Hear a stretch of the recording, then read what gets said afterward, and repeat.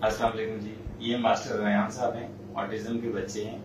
आप लोगों ने देखा होगा, अगर आपकी फैमिली में या किसी दोस्तों में कोई ऐसा बच्चा हो, जो आपकी आई कांटेक्ट ना करता हो, अपनी दुनिया में मगन रहता हो कोऑपरेटिव ना हो बच्चा तो उसको ऑटिज्म डायग्नोज किया जाता है। और हम उसका स्टेम सेल्स के ज़रिए ट्रीटमेंट करते हैं।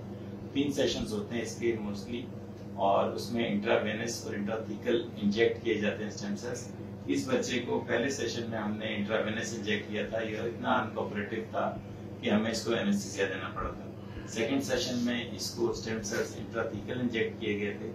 और आज, माशाल्लाह से आप देख सकते हैं कि कितना कोऑपरेटिव बैठा है, सुकून से लेटा है और इंट्रावेनस इसको स्टेम सेल्स हम ट्रांसफ्यूज कर रहे हैं विदाउट एनी एनेस्थीसिया और अब, माशाल्लाह, इसका आई कांटेक्ट भी अच्छा है और ये बात को रिस्पॉन्ड भी करता है। और इवन आपको आगे से रिप्लाई भी करता है। रायान हो ये देख लें आप। तो इस चीज़ से आप अंदाज़ा कर सकते हैं कि कितने अच्छे रिज़ल्ट हैं सेट सेल्स के।